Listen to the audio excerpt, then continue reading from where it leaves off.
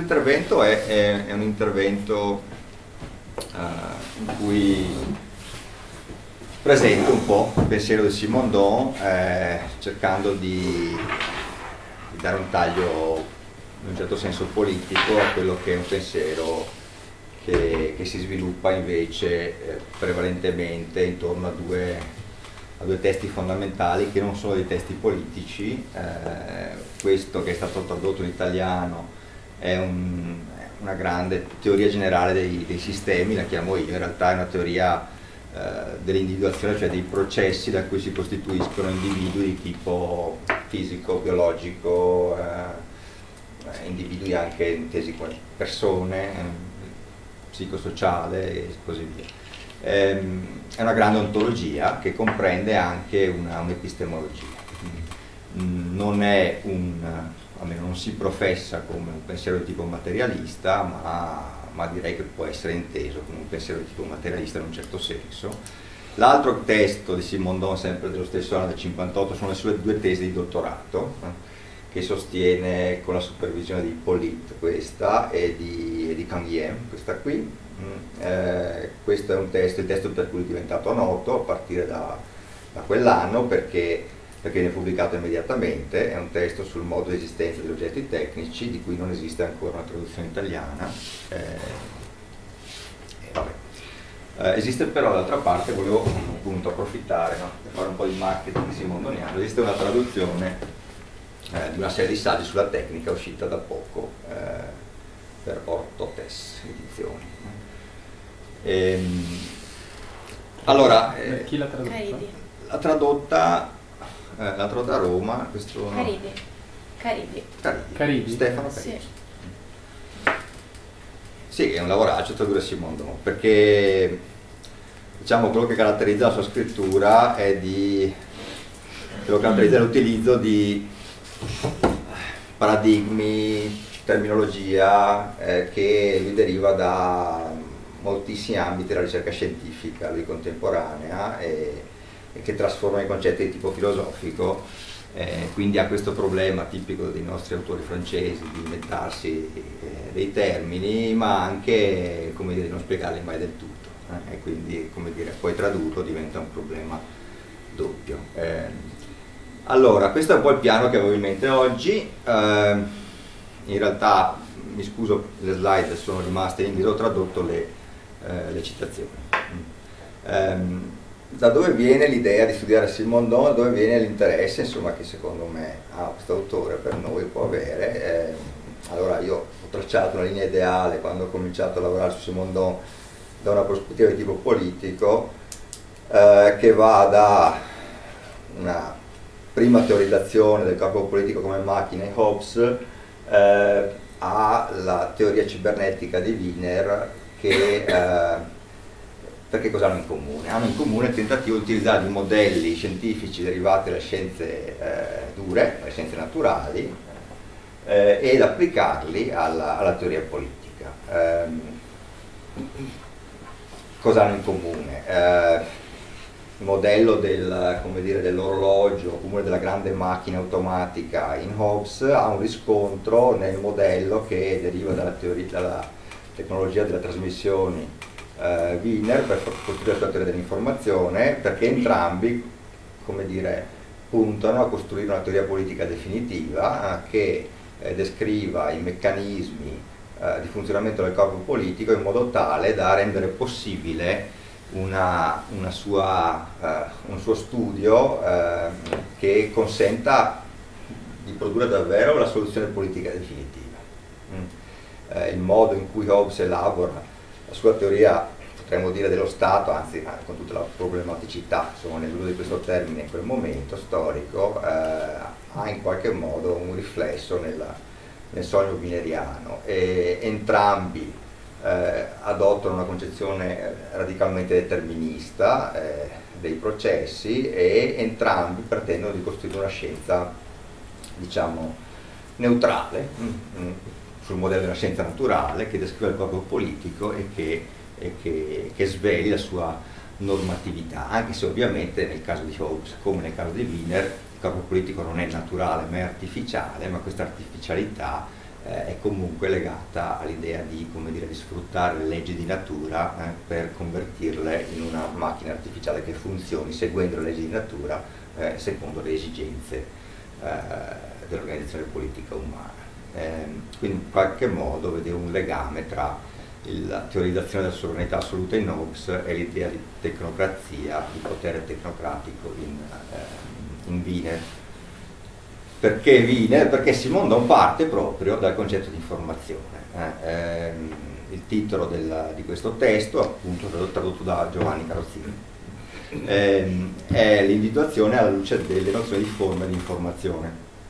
Quindi è un, è un titolo che eh, che esplicitamente fa riferimento a quelli che sono i due modelli teorici che Simondon utilizza e intende superare eh, della Gestalt e della, e della cibernetica, ehm, introducendo eh, quella che è un elemento fondamentale, che è la variazione eh, rispetto innanzitutto al determinismo, che caratterizza eh, secondo lui questi approcci, eh, si parla della prima cibernetica in questo caso e anche quindi eh, una critica fondamentalmente all'automatismo, non soltanto per quanto riguarda il corpo politico, ma l'automatismo per quanto riguarda innanzitutto il funzionamento proprio dei, degli oggetti tecnici, delle macchine, nel senso che secondo Simondon cercherò di spiegare, questa idea dell'automatismo è una proiezione interamente antropomorfica, eh, eh, in un certo senso, eh, che non corrisponde alla realtà del funzionamento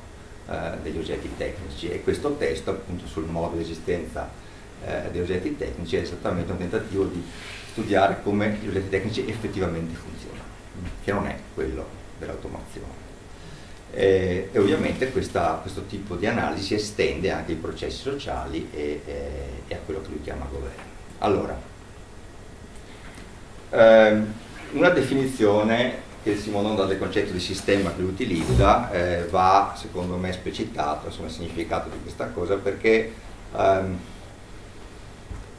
perché c'è un equivoco fondamentale del concetto di sistema. Io non so se posso, posso farla qua questa cosa magari sposta ah, così ma devo fare molto volevo solo fare un ah, un disegnino che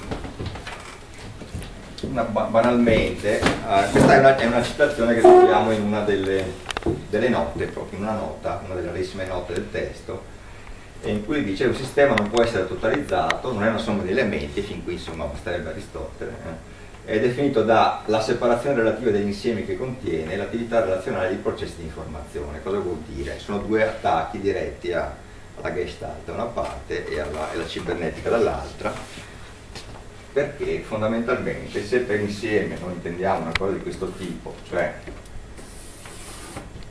degli elementi che sono all'interno di, di, un insieme, per sistema noi tendiamo a concepire semplicemente un insieme in cui i diversi elementi sono in stretta correlazione reciproca, non si vede niente, ma pazienza, e in stretta correlazione reciproca e quindi il fatto che, che distingue insomma, un sistema da, da un insieme è il fatto che, per così dire, quando un elemento subisce uno spostamento, una mutazione, questo influisce su tutti gli altri elementi che costituiscono il sistema. In realtà il modo in cui concepisce il sistema Simondon è un altro perché gli elementi semplici semplicemente non esistono. Non esistono elementi semplici, esistono elementi che sono a loro volta dei, dei sistemi e questa ha un'implicazione importante perché questi sistemi, sottosistemi, potremmo chiamarli rispetto a questo sistema, ovviamente ogni sistema ha un suo sottosistema e così via, eh, hanno dei, sono dei processi in corso al loro interno. E quindi e questi processi non interagiscono direttamente sugli altri sottosistemi.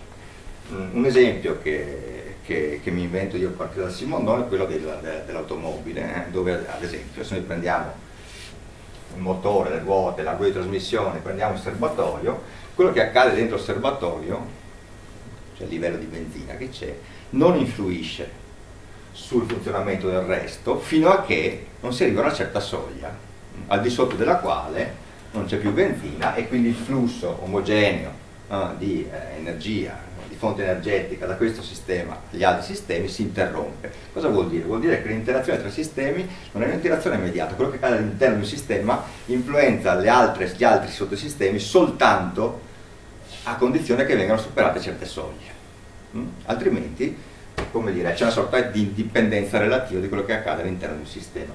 Cosa vuol dire? Cosa implica questo? Questo implica che uh, le relazioni tra le varie parti del sistema non sono deterministiche, ah, non sono, come dire, uh, mh, immediate.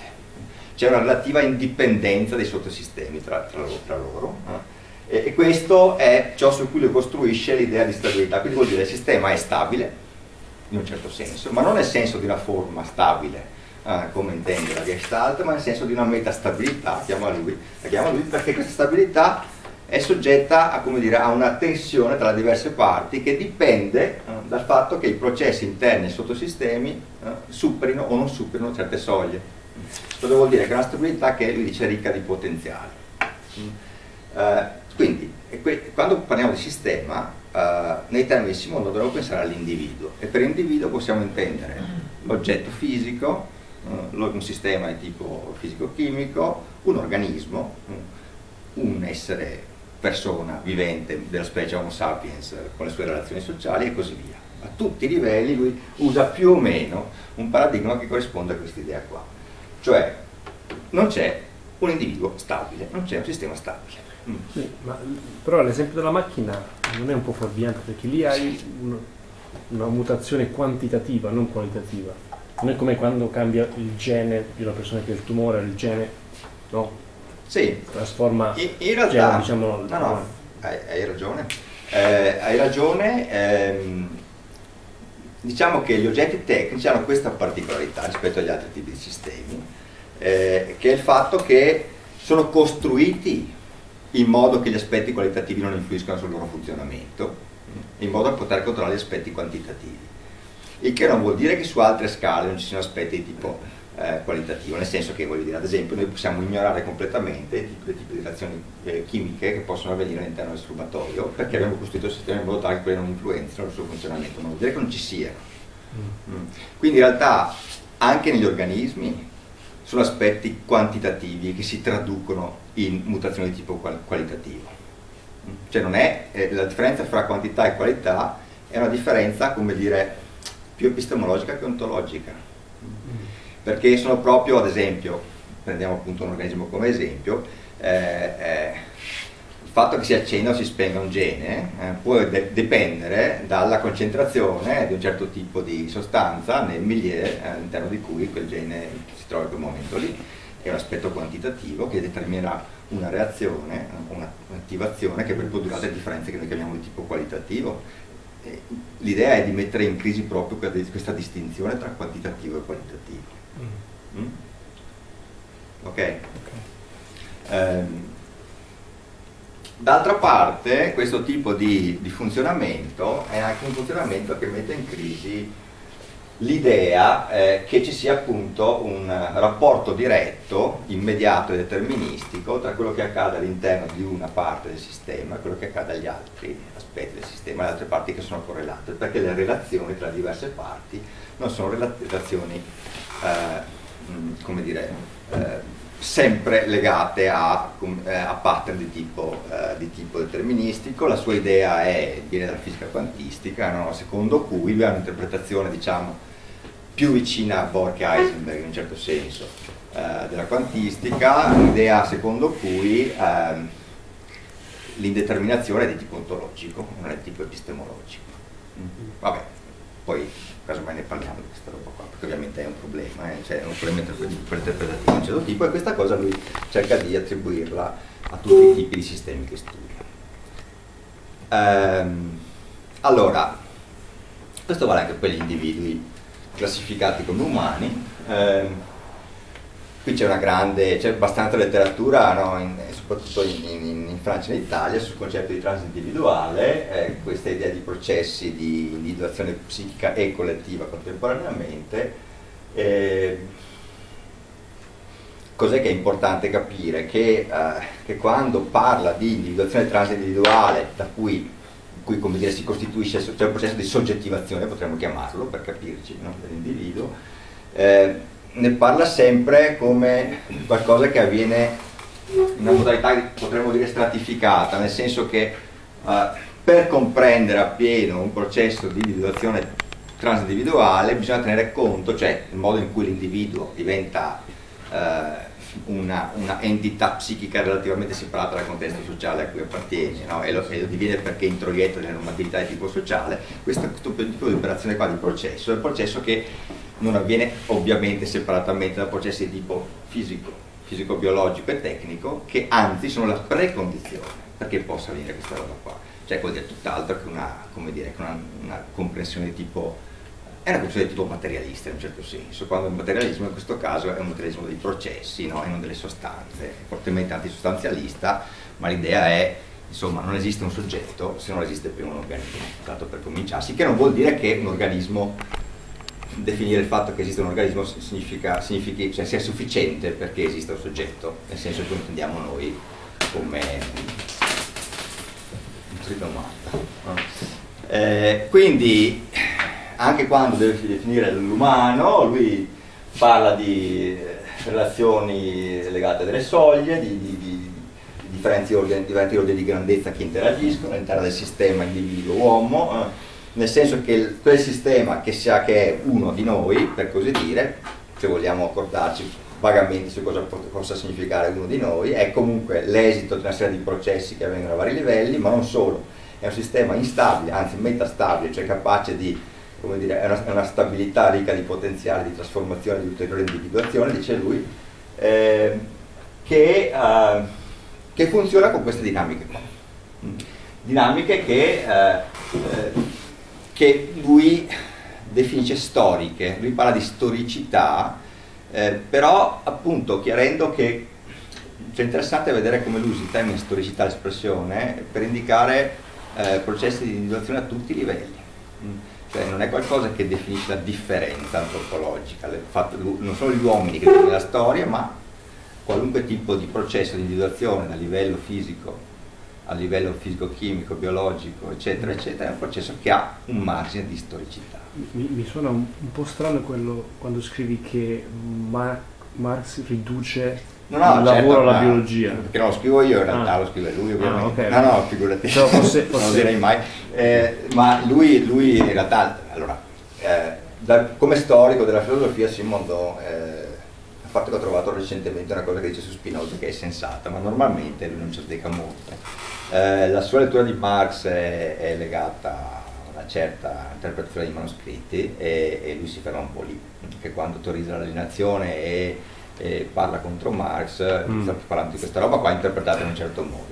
Quindi e anche quella di Freud voglio dire è problematica, no? non è che tra l'altro vuol dire che il libro nel 58 eh, nel pieno della rilettura lacaniana, no? lo stesso paese, stessa città, stesso contesto di Freud e, e per lui eh, che accusa Freud di, di, di, biologismo ha un senso ovviamente no? molto limitato. Eh, certo, no, no, chiaro, eh, questo è quello che dice lui, ma non ci interessa tanto la sua interpretazione, eh, ma il modo, in, come dire, il fatto che quel tipo di interpretazione, diciamo, positivista mh, nella, sua, nella, sua, mente è, sarebbe sufficiente. Mm. Eh, ok. Allora, ci sono... Ma, visto che tu hai scritto agency in inglese, no? Sì. Che immagino che non sia una parola che usa Simon Don.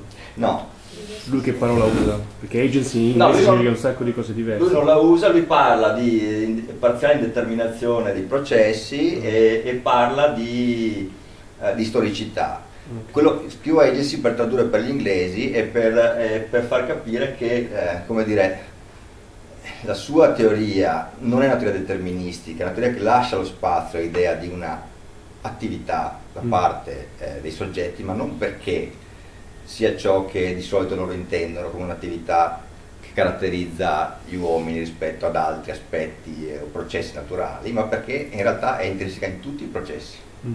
Mm. che noi chiamiamo naturali o non naturali, cioè sono solo processi naturali in realtà. C'è una risposta secondo me meravigliosa che da Simon Ricoeur durante una, un, un, dibattito che segue la sua presentazione, la sua iniziazione alla Société eh, Française de Philosophie nel 60, cioè lui presenta la sua filosofia, a un certo punto gli interlocutori cominciano a fare delle domande, Eric dice, beh ma eh, il, suo, il, suo, discorso le tiene conto che la natura è una parte del discorso, no? mm. la natura è parte del discorso, quando diceva guarda, proprio non ci siamo capiti, la, eh, il, suo, il postulato del suo discorso appunto che la natura sia parte del discorso eh, questa roba per me è assolutamente impensabile, è il discorso casomai che parte dalla natura. cioè, come vogliamo dirla? Quindi diciamo, secondo me sicuramente è anti-postmoderno tutta questa roba. Allora, io direi che è anti-postmoderno, ma è anti anche, come dire, lui cresce, se vogliamo contestualizzarlo no? nella, nella, filosofia dell'epoca, lui è un allievo di Merleau-Ponty, mm. che tuttavia lotta in questo testo, secondo me, eh, con, no, aspramente per tentare di liberarsi dalla fenomenologia, anche se alcuni concetti risentono un po' di questo problema, eh, usa Canguien, di cui parlerà eh, Tyler. Poi, in seguito, eh, proprio per l'epistemologia francese, come leva eh, per liberarsene in qualche maniera. Eh, rifiuta l'etichetta di materialismo perché il materialismo per lui è uno dei due poli del, dire, dei nemici tradizionali della filosofia della relazione, ma perché poi il materialismo lo intende un materialismo che attribuisce sostanzialità agli elementi, una sostanzialità eterna, agli atomi o quello che vuoi tu, e dall'altra parte l'altro nemico è, è, è Aristotele per il riomorfismo. Ehm, detto questo, eh, eh, lo trovo molto, come dire, questa free agency appunto per me è il segno, no? in realtà mi parla di storicità, il fatto che la storicità sia un, uno strumento concettuale che gli serve per descrivere l'elemento di indeterminazione dei processi a tutti i livelli, insomma, non me lo rende utile per, per trasformarlo in qualcosa che, per usare etichette che ho rifiutato. sto cercando di costruire un legame con Karen Barad, una filosofa femminista, fisica quantista, che insegna negli Stati Uniti, che quindi passa attraverso la French Theory, no? Derrida, Foucault, per riformulare una serie di, di, concetti che a mio parere sono molto vicini a questo tipo di operazione qua e lei è parte Come? della New Materialism di questa... Come si fa lo spelling? Cognome? Karen Barad, proprio così, con la K, ah. Barad. Grazie. Eh,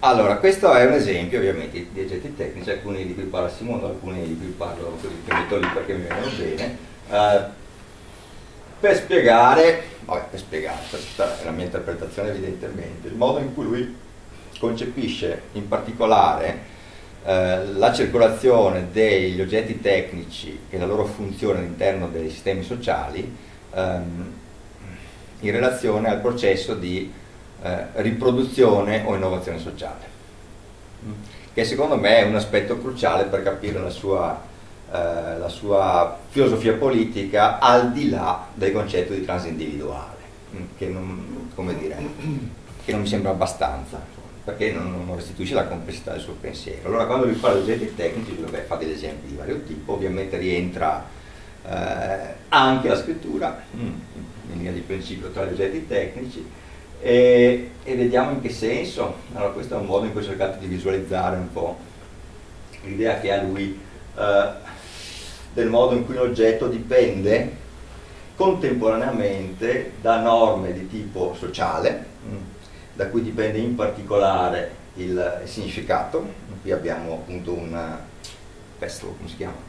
Un, eh, eh, quegli oggetti che servono per schiacciare i cereali e come pestello. pestello. Eh, scusa, eh, a volte è troppo semplice, non viene eh, il, il pestello, eh, che ha una forma anche di, di, uccello che può avere un significato simbolico, eh, possiamo più o meno anche immaginare, ma anche no. Ma il punto qual è? Che questa forma ha una ragione di tipo simbolico e al contempo ha una ragione di tipo biologico e tecnico perché consente un'impugnatura, un'impugnatura di un certo tipo. Ah, quindi norma, dire, risponde a eh, dimensione di significato, ma risponde anche a dimensione di funzionamento, cioè non può assumere qualunque forma questo oggetto, perché è un oggetto tecnico, cosa vuol dire questo? Che dal punto di vista del eh, simbolico teoricamente può assumere la forma eh, di qualunque tipo di cultura, mm, può essere un uccello piuttosto che un serpente, piuttosto che un orso, piuttosto che un animale o qualcos'altro. Dal punto di vista del funzionamento però ha dei vincoli di tipo tecnico che sono legati al tipo di operazione per cui è stato costruito e d'altra parte ha dei vincoli di tipo biologico che sono legati al funzionamento di chi lo usa, sia del corpo umano. C'è dei movimenti che il corpo umano può fare perché possiede le mani che possono avere un certo grip sull'oggetto e così via. E quindi è in qualche maniera un sistema che mostra come interagiscono normatività di tipo fisico, di tipo eh, biologico-tecnico e di tipo culturale nel definire la sua forma finale, la sua funzione, che non è soltanto la funzione ma è anche il suo significato contemporaneamente. Allora, gli oggetti tecnici che studia lui hanno contemporaneamente, potremmo dire due, ma in realtà molti più livelli, no? eh, c'è bisogno di sapere un bel po' di roba per spiegare come, cosa sono. Non basta la loro forma, non basta il loro funzionamento, non basta il loro significato eh, e così via. E quindi sono oggetti che sono tecnosimbolici immediatamente, hanno entrambe queste funzioni, almeno per, per semplificare, in realtà ne hanno molti.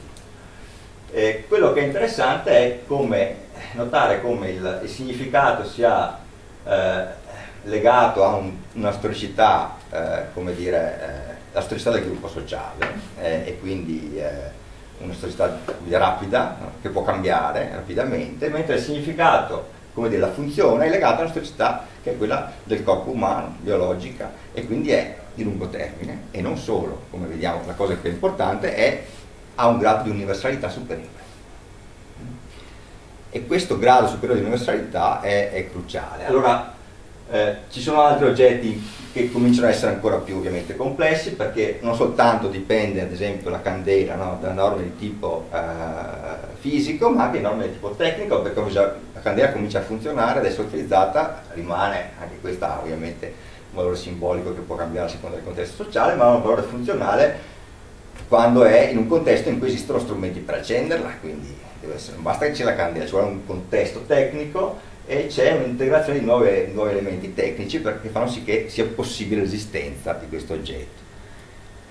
Vi fa un esempio, questo è un esempio che fa lui direttamente, parla del modo in cui eh, non soltanto nuovi elementi tecnici sono necessari perché questo oggetto funzioni, ma a un certo punto può cambiare la sua funzione a seconda del sistema tecnico, diventa a un certo punto un trasmettitore radio, poi un trasmettitore televisivo, eh, eh, nonostante non fosse costruito con, quel, con quello scopo anzi inizialmente costruito per poi essere no, tolta alla fine dell'esposizione, poi in realtà rimane lì perché si trova un'altra funzione. Quindi non è che ci sia dire, una, uh, una storicità del significato uh, simbolico contrapposta a una astoricità della natura, del contesto fisico, del contesto tecnico. Non è così, sono storicità diverse, sono tempi di sviluppo diversi, sono temporalità diverse che però si intrecciano e si influenzano eh, reciprocamente. La scrittura è, viene analizzata, va analizzata in questo, da, questi presupposti in una modalità analoga perché anche la scrittura ha una funzione che è legata a norme sociali evidentemente.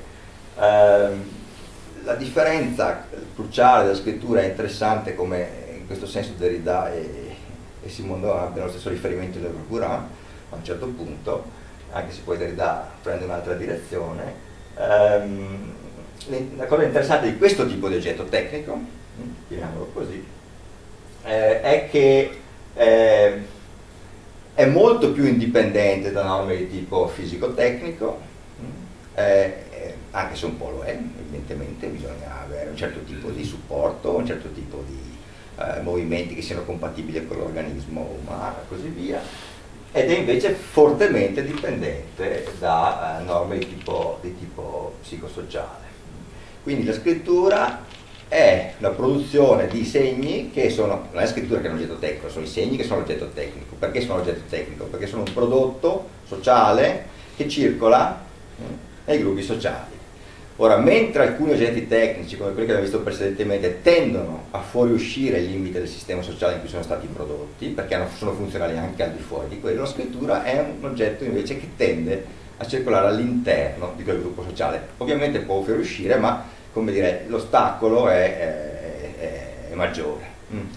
Perché ci interessa questa roba qua? Eh, perché eh, Simondon tende a vedere nelle norme sociali eh, delle norme che tendono a, eh, a, riprodurre la struttura sociale. Le norme tecniche, norme che tendono ad aprirla. Le norme sociali, norme che tendono a chiuderla, quelle tecniche tendono ad aprirla. Perché? Proprio perché ci sono altri esempi che avevo, l'alzo della pioggia ad esempio, no? eh, che ha degli effetti, eh, può essere una tecnica di costruzione dell'identità sociale, può avere degli effetti sociali, anche degli effetti fisici, nel senso che qui magari, come dire, c'è una produzione di endorfine che ti permette di, di realizzare pareggio all'ultimo minuto, non so, che lui non è uno che entra alla fine. Eh, quello che mi interessa è... Eh, Chi è che non riesco a vedere? È, Ronaldo, è Ronaldo che, che, si fa scendere la croce d'oro. Eh, il modo in cui eh, concepisce la cultura, in cui definisce la cultura Simondon ed è una cosa che lui prende da Le Gauguin, Le Gauguin è questo paleantropologo francese che è ritenuto molto importante da Canguien, Canguien è la persona che decide cosa, cosa i, i, quelli che vogliono fare filosofia, insegnare filosofia in Francia devono leggere per almeno dieci anni eh, e quindi quando lui dice che bisogna leggere qualcosa leggono tutti. Okay? Quindi tutta la generazione di filosofi francesi che noi conosciamo ha letto, roba, hanno letto le cose che Canguien diceva si dovevano leggere. Allora uno di questi, è della scuola sociologica francese, è un allievo di Mossa a un certo punto, eh, ma lui studia proprio gli oggetti no, eh, che rimangono nelle caverne e cerca di capire eh, non soltanto la loro funzione tecnica, ma anche in qualche maniera di risalire alla struttura eh, delle etnie, dei gruppi sociali primitivi a partire da questa roba. Eh, allora lui prende questa idea della cultura come una stratificazione di, di significati, che in realtà è fatta di oggetti. Di oggetti tecnici, eh, di oggetti di segni, di oggetti linguistici, eh, cosa, e, e, che ha una funzione rispetto al gruppo, al sistema sociale, una funzione di, eh, di autoregolazione, cioè quella parte eh, del sistema sociale che è fatta di cose prodotte, di oggetti prodotti da, dagli uomini che sono parte di quel sistema sociale, ovviamente sono prodotti in base a criteri complessi che abbiamo visto e sono, potremmo dirla, se vogliamo se semplificare la cosa, in realtà la cosa più complessa, sono ciò che distinguono davvero l'uomo dall'animale, cioè il fatto che eh, gli uomini riescono a produrre degli oggetti che sopravvivono alla vita individuale e sono tramandati non in maniera diretta, ma anche in maniera indiretta, con, aprendo l'interpretazione, aprendo la funzionalità in questo modo. In realtà noi sappiamo oggi che ci sono culture animali, eh, ci sono dei primati, le scimmie cappuccine piuttosto che, eh, che hanno letteralmente una serie di pattern comportamentali che dipendono da, eh, dalla loro biologia, ma altri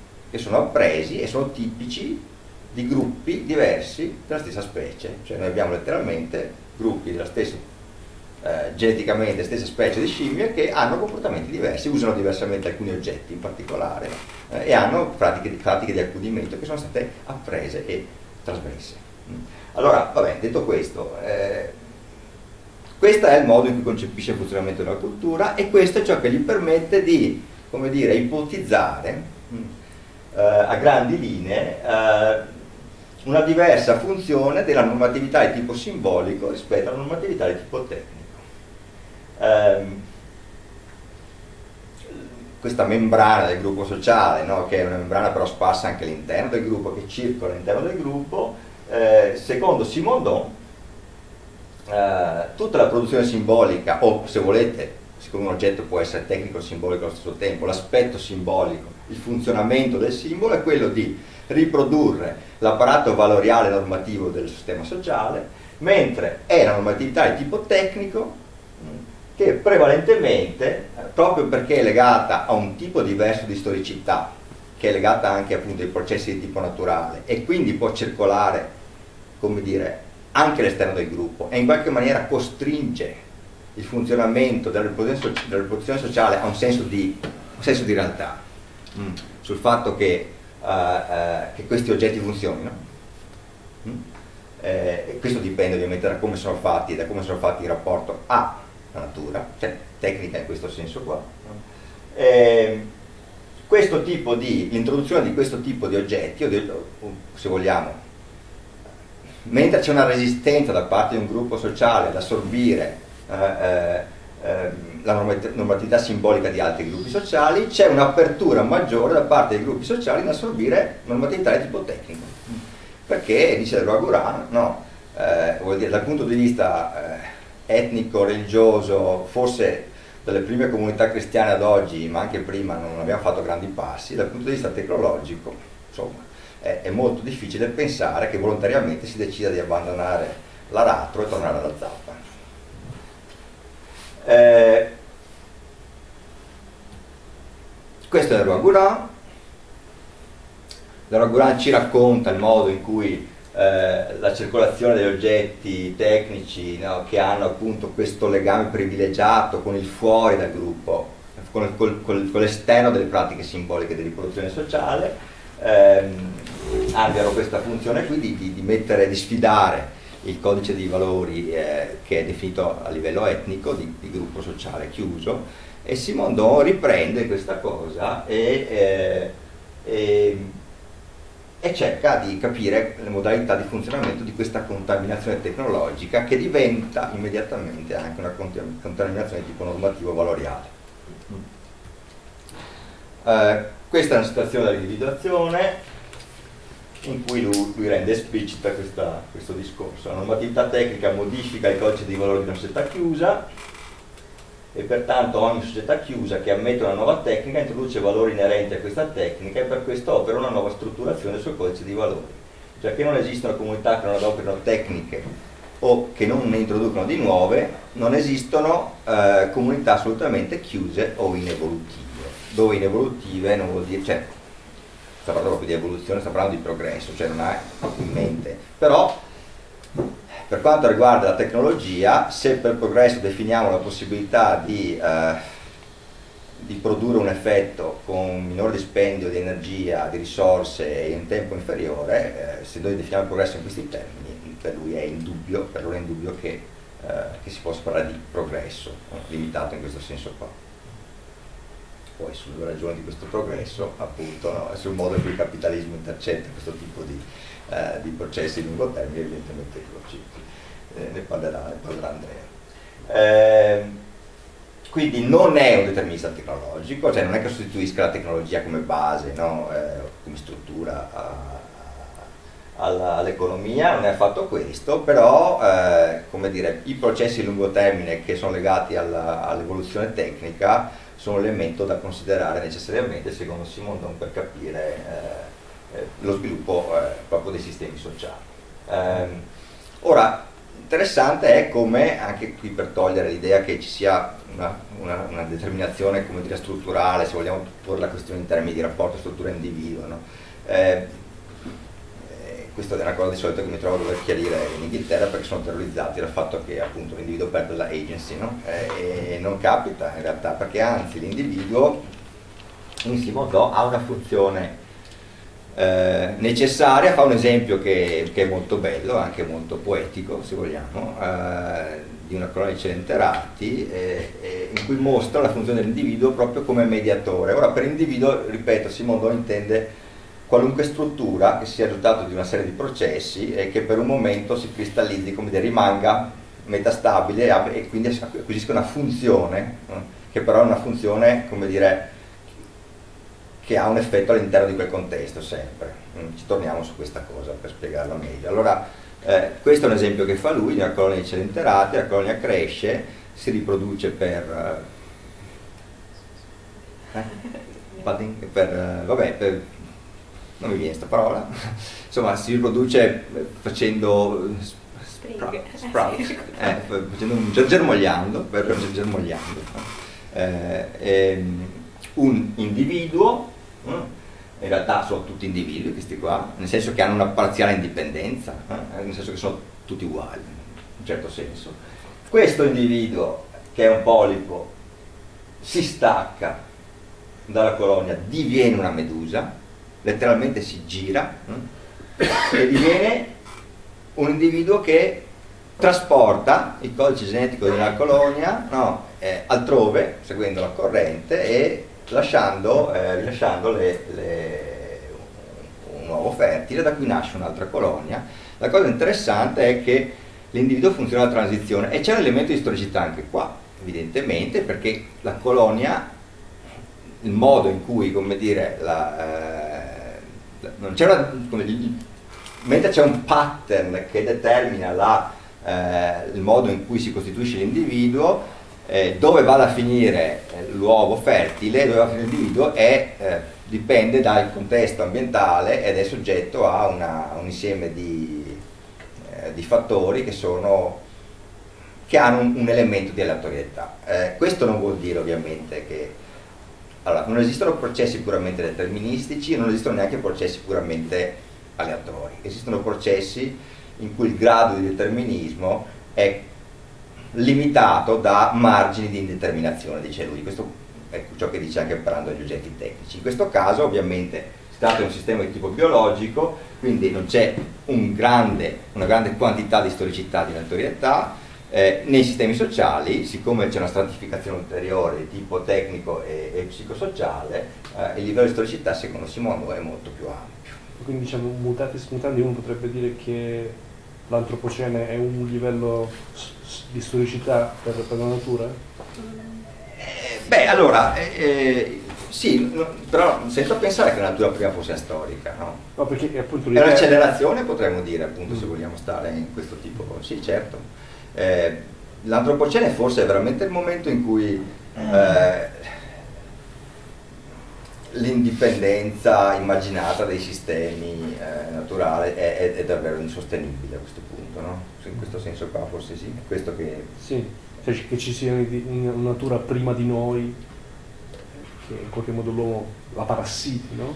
Sì. Eh, sì. Seria poco convincente tutta questa cosa. No, no, il, il punto è che in realtà in un certo senso l'uomo è, è, è, una, è, una, formazione naturale che come tutte le formazioni naturali parassitano la natura se vogliamo mettere in questi mm. termini, il punto è la scala del parassitaggio che raggiunge livelli che diventano, se vogliamo prendere il macrosistema, eh, uomo-natura, ma in realtà appunto è una distinzione che mm, è un po' sì. Dico, dico, male se dico che diciamo, anche l'uomo in realtà è un, parte di un processo di individuazione mm che lascia del non individuato. Assolutamente giusto, è corretto. Quindi dire che c'è la natura e l'uomo come due eh, sostanze ontologicamente separate per Simondon non esiste. È deliria, delirante. Sì, sì, no, assolutamente è corretto. Sì, assolutamente sì. Lui chiama che pre-individuale questa carica sì, no, lui... pre-individuale. Una domanda, ehm, la colonia di Celenterati, lui la, non mi ricordo se la usa come esempio di relazione transindividuale lui la, la, la, la, usa nella parte sì, sì, no, so però, usa, sì. però mi sembra che dica che sia un esempio dell'azione transindividuale. Sì, lo, usa, lo usa come modello. Quindi che non è umano il modello della transindividualità, mm. ma in realtà è già sì. biologica. Cioè basta che ci sia questo tras trasporto di significati, di sistema di valori. No, di informazione in realtà. Poi, ah, ovviamente tutta questa roba è, è, è dire, formulata, formalizzata in termini di trasmissione di informazione e di costruzione, emergenza dell'informazione, quindi lo sto traducendo in, in, in immagini che non rendono effettivamente, eh, però eh, diventa incomprensibile, nel senso che poi bisogna spendere tempo a interpretare l'interpretazione se, se, se, la presentano nella terminologia sua, è, è, il problema di dover ricominciare ogni volta da capo quando si parla di Simondo. Ed è il problema poi in realtà di quando si parla invece con i simondoniani, come faremo a Parigi ancora, eh, diventa una cosa autoreferenziale in cui si parla ancora di questo. È inutile, insomma. Eh, allora, ecco, volevo far notare, se ho un po' di tempo, eh, quanto tempo ho ancora? Fino alle sei e mezza. Sì, no. quarto d'ora, quarto d'ora ce l'ho, voglio dire. Sì. Okay. Eh, beh, questa è una delle definizioni che dà lui dell'individuo come parallasse temporale. Eh, l'individuo è ovviamente un aspetto eh, che all'interno di un processo si isola, no? costruisce un parziale isolamento di una parte del sistema del processo in corso, l'individuazione è questa roba qua, eh, e acquisisce una funzione inedita all'interno del processo, eh, proprio perché mh, innanzitutto può, avere, può funzionare, lui dice, da, da a Morse, no, da, sì, sì, trigger, da, da, innesco, da innesco di, un, di, un, ulteriore processo all'interno del sistema ma anche tra sistema e sistema. No? In questo caso l'esempio era di un individuo che esce dal sistema e produce. Um, e quindi è una categoria, eh, quella di individuo, che ha una funzione nel suo discorso sul piano ontologico evidentemente, ma ha anche una, fun una funzione di tipo epistemologico perché eh, qui diventa molto interessante. Eh, l'individuo ha anche una funzione nel processo di produzione della conoscenza. Allora, qui questa parte la, la, la, magari ne parliamo dopo, molto brevemente. Quando lui deve definire la conoscenza e la conoscenza per così dire riflessiva, lui usa anche questa espressione, no? eh, intendendo proprio la filosofia non solo, ma il modo in cui eh, dire, la conoscenza non sia soltanto la costituzione del soggetto e dell'oggetto, che è la conoscenza scientifica sul modello bachelardiano, Cioè, dire, è un processo attraverso cui si definiscono il soggetto della scienza e l'oggetto della scienza. Ma lui chiarisce ripetutamente, tenta di pensare ripetutamente che questo tipo di conoscenza, eh, che è un processo ontogenetico, in cui si costituiscono quel tipo di operazione che è la riflessione sul soggetto e la riflessione sull'oggetto, eh, è ciò che andiamo a cercare di capire eh, perché soggetto e oggetto sono un prodotto dei processi che vogliamo studiare. Allora come funziona questa cosa? Evidentemente, allora lui riprende secondo me un'operazione che fa Canguilhem riguardo alle scienze della vita, in cui eh, considera lo studio della scienza della vita un'operazione di tipo riflessivo, perché eh, perché l'organismo mm, eh, nella sua forma Homo sapiens che costituisce collettivamente quel sapere su se stesso, non soltanto su se stesso, sulla natura di cui fa parte, eh, riflessiva in questo senso qua. No? Cioè il soggetto conosce anche se stesso come prodotto di processo eh, che, che, che, l'ha costituito. E questa cosa bisogna stendere alla materia in un certo senso, cioè l'analisi dei processi di individuazione di ontogenesi in Simondon ha sempre al di là della descrizione scientifica di questi processi, una, una sorta surplus di, di, surplus di operazione che è la riflessione su quei processi eh, per eh, costruire una forma di conoscenza che non è semplicemente la raccolta dei dati forniti dalla scienza, ma è un'operazione di costruzione concettuale che ci permetta di cogliere la scienza stessa come parte di un processo naturale, per dirla così. Sembra quasi un trascendentale. Allora, sembra quasi un trascendentale salvo che questo trascendentale, se vogliamo dirlo nei termini dell'epistemologia francese, è storico. E quindi non c'è mai, non è mai finito. È un'operazione sempre clinica, quella di, ricostruire il trascendentale. Perché ogni volta che lo si ricostruisce, lo si costruisce a partire da processi che sono nel frattempo cambiati. E, e, e un'altra, infatti, eh, lui dice chiaramente che forse è proprio dovuto a questa cosa il fatto che eh, l'ontogenesi non è mai finita, cioè lo studio del, del, dell'ontogenesi è sempre lì a fianco della ricerca scientifica no? e non, mai, arriva mai a un punto finale perché il trascendentale inteso in senso kantiano, in senso anche fenomenologico, è una pura immaginazione. Ma come operazione, eh, se vogliamo usare quel termine, ci sta. Eh, io ti facevo questa domanda perché eh, ultimamente avevo visto Steven Pinker che parlava del suo libro, Steven Pinker è un neuroscienziato uh-huh. che ha scritto questo libro che si chiama Blank State, che parla della coscienza no? cioè, uh-huh. o della natura umana. Sì. Lui sostiene che non è vero che la natura umana è un blank state, ma che diciamo, riparte da esempi di senso comune, cioè dal fatto che per esempio c'è il linguaggio, no? uh-huh. E quindi diciamo, le persone possono comunicare anche se vivono in posti diversi, vengono da posti diversi No, quindi la, da, ah. sulla scorta di, questa, di, questa, mm, di, questa, di, questo talk che avevo visto, mi chiedevo, ehm, rispetto alla riflessione sulla natura umana in Simondon, eh, se il trascendentale è sempre qualcosa che è immanente o comunque storico, mm. eh, in che modo, come dire, ehm, cioè si dà questa trasformazione, il fatto che è l'individuo che trasforma il suo ambiente. È, non so se forse Beh, forse è reciproco, non è, mm. sì. nel senso che appunto non, mi rendo conto che l'uso del termine agency possa poi far pensare che ci sia il punto è che l'agency è diffusa, no? quindi in realtà non è poi che l'individuo trasformi l'ambiente, è l'individuo ovviamente trasforma l'ambiente tanto quanto okay. la cosa reciproca.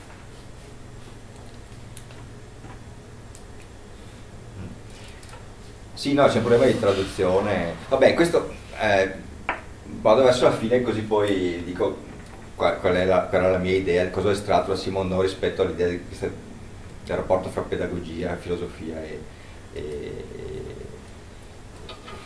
la sua ontologia. E, ehm, questo pone dei problemi epistemologici ovviamente enormi, eh, c'è la questione del rapporto fra scienze naturali e umane e, e, e l'idea di tecnoscienza come la rielabora in questo senso per dirla un po' i soldoni, generalmente secondo me, eh, come dire, la scienza, la tecnoscienza, se chiamiamo tecnoscienza la scienza, chiamiamo scienza, che in realtà appunto è Così, così, evitiamo tutte queste storie no, su Galileo del carteggio contro Baccone, queste stronzate qua. Okay. Eh, e, allora eh, bisogna dire che nel contesto sociale, se la scienza e le matematiche sono un prodotto culturale, che non vuol dire che non, siano, che non funzionino in un certo senso, è proprio la tecnologia, la costruzione degli strumenti sperimentali che determina il carattere aperto della scienza, mentre tendenzialmente l'aspetto formalizzante ne determina la riproduzione, proprio in linea con l'idea della...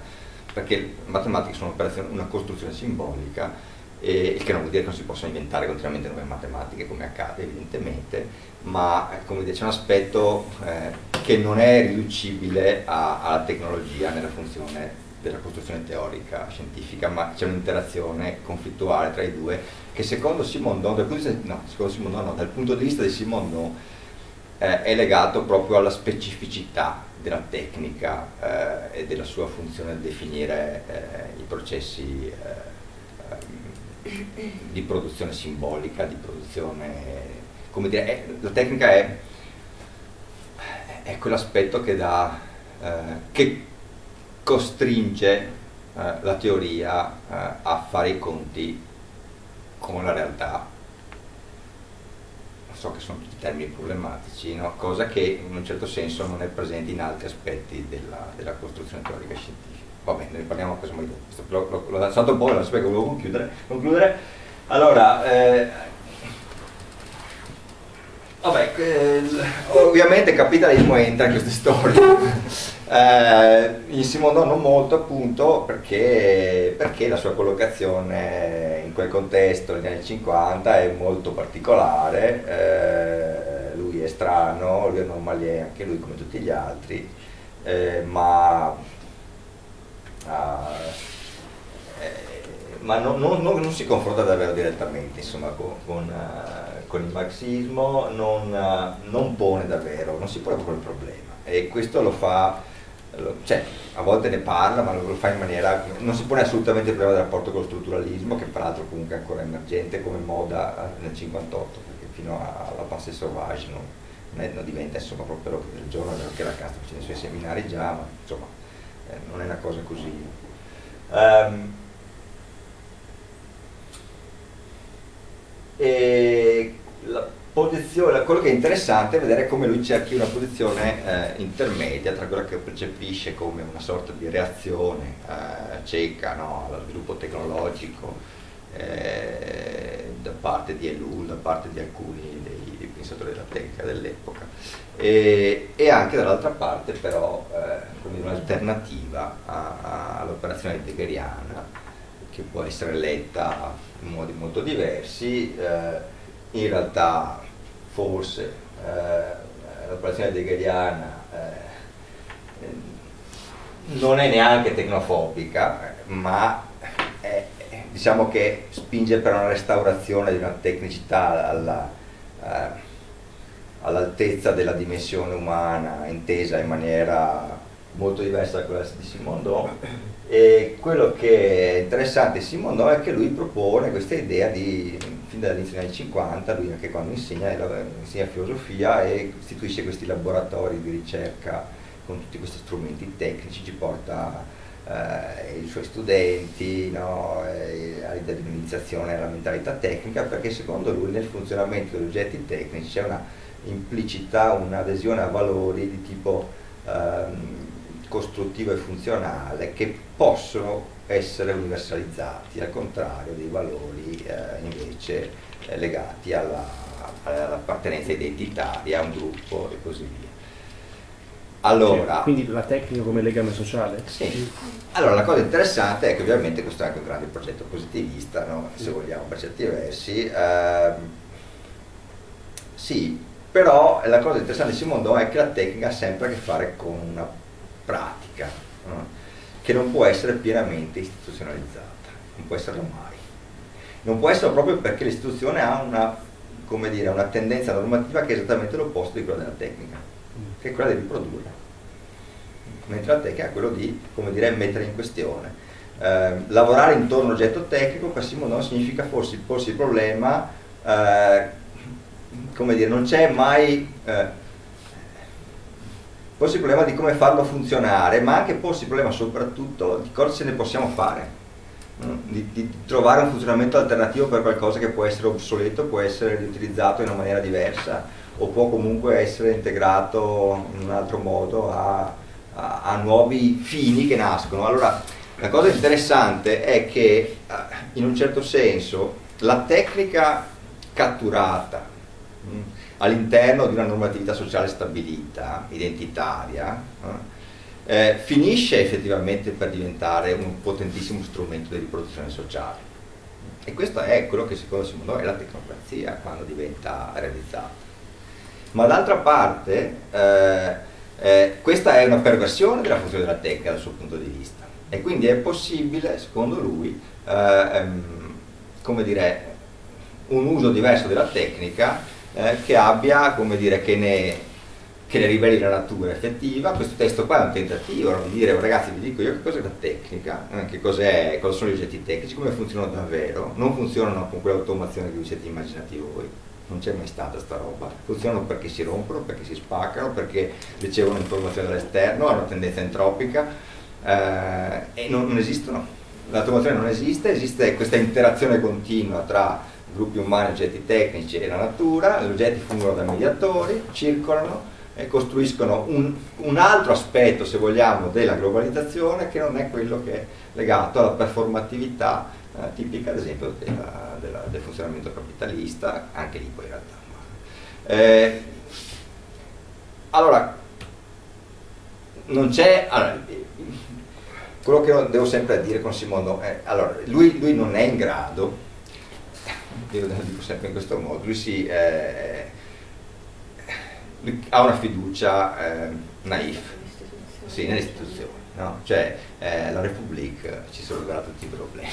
Lui è, è, in questo senso è, dire, è, limitato nella possibilità di pensare davvero alle implicazioni politiche della sua posizione e soprattutto non si pone mai il problema di quale soggetto politico possa sviluppare eh, questo tipo di processi eh, che non siano puramente riproduttivi, eh, quale soggetto politico possa in qualche maniera eh, rivitalizzare questa modalità di funzionamento tecnico eh, non puramente riproduttivo, eccetera, eccetera. Cioè questi problemi non si pone proprio. A un certo punto parla anche del Papa, dell'ecumenismo e, e, e, lui è un po' schiavo effettivamente della, del, del, questo non bisogna dirlo perché sennò la gente poi non lo legge più, però, però No, vabbè, poi bisogna, bisogna, anche chiarire che, che, che, che, durante gli anni 60 lui a un certo punto, come dire, no, verso fine degli anni 60 non è neanche più molto presente a se stesso, no? comincia ad avere problemi tipo psichiatrico. E, mm, la cosa simpatica è che lui eh, a un certo punto quando lui racconta la storia eh, del, del, concetto di individuazione e anche in altri, in altri luoghi cerca di, eh, di, di, di, dare una lettura dell'emergere dell'emerge della filosofia eh, nella Ionia, da parte dei Mileti, che è molto particolare perché, ah, come dire, lui sembra veramente prendere Heidegger no, e, dire, boh, eh, la filosofia nasce eh, ehm, non tanto perché, eh, come dire, cioè è legale, allora diciamo che di fronte al fatto che Heidegger valorizzi la tecnica come poiesis, no? lui fa un'operazione inversa dicendo boh, i primi filosofi, quelli che sono davvero filosofi e che costituiscono eh, quella, che, quella, tradizione all'interno di cui noi siamo ancora oggi, eh, sono allo stesso tempo dei tecnici eh, e, che lavorano con la physis, nel senso che proprio ci lavorano. E quindi nella filosofia, nella loro filosofia, entrano questi schemi di funzionamento che sono, vabbè, nei suoi termini potrebbe dire cosmopoliti, no? che aprono la comunità e che in qualche maniera eh, sono disinnescati eh, da, uh, da, Parmenide e sono disinnescati da una certa, come dire, un tentativo di, eh, potremmo dire dal suo punto di vista idealista, eh, di, eh, di, di, ridurre eh, questi schemi di pensiero che non sono dei concetti, sono proprio delle operazioni concettuali, sono proprio delle operazioni critiche in, rispetto ai limiti normativi e culturali della società in cui si sviluppano e, lo, e lo, sono, lo, sono, perché questa gente ha in mente delle cose che funzionano anche al di fuori della loro etnia, della loro comunità, del loro contesto sociale, che sono in principio universalizzabili come la normatività tecnica. E la filosofia è, nella sua essenza più profonda, secondo Simondo, una tecnica politica, nel senso che è una, uh, dire, è una tradizione, quindi ha un aspetto simbolico, ma una tradizione che veicola schemi di funzionamento tecnico che quindi permette di integrare all'interno della cultura, che poi noi possiamo chiamare cultura occidentale se volete, ma all'interno di questa tradizione, qualcosa che dal suo interno continua a rimetterla in questione. E, e la cosa interessante è che la filosofia non è fatta di contenuti in questo senso, è fatta di operazioni che eh, vengono svolte all'interno di un sistema simbolico contro ogni tentativo di fossilizzare, di, eh, dire, di rendere statico quel, quel, sistema simbolico stesso. E è una cosa che lui suggerisce, è una cosa che lui dice in maniera suggestiva a volte, è una cosa che lui non sviluppa, ma è una cosa, come dire, che che diventa interessante se noi concepiamo la filosofia come qualcosa che nasce in un contesto storico determinato, in un momento determinato, ma lungo il processo di lungo termine di una storia naturale in cui la tecnica gioca un ruolo determinante nel processo di umanizzazione. E quindi pone un problema, ovviamente, se vogliamo, di periodizzazione, eh, di legame tra la filosofia e ciò, e ciò che veniva prima, e, e, e, lui tenta come dire, una strada alternativa a quella del rapporto tra la filosofia e il mito, il logos e il mito, insomma, per così dire.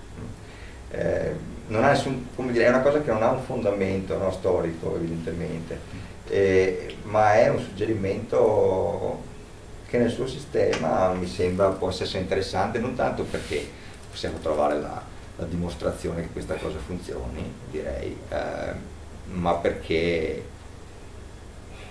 perché ci può suggerire di guardare dall'altra parte quando parliamo della filosofia. Uh, per quanto riguarda l'aspetto, se volete, politico, lui definisce appunto la filosofia in questi termini.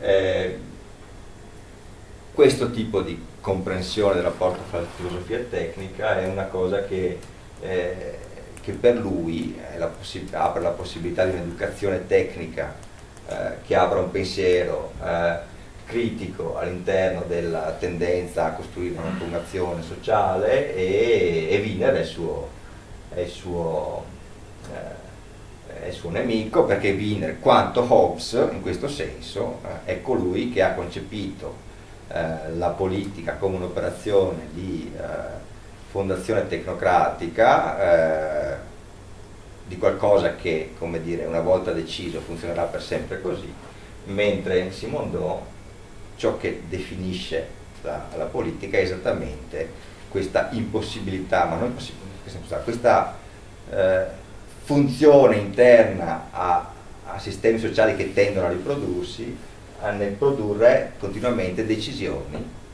eh, parzialmente infondate, parzialmente aleatorie che hanno una funzione sperimentale. Politica è tecnica in questo senso qua, è nel senso di sperimentazione e non è tecnica nel senso di automazione esattamente all'opposto. Um, mi fermo qua.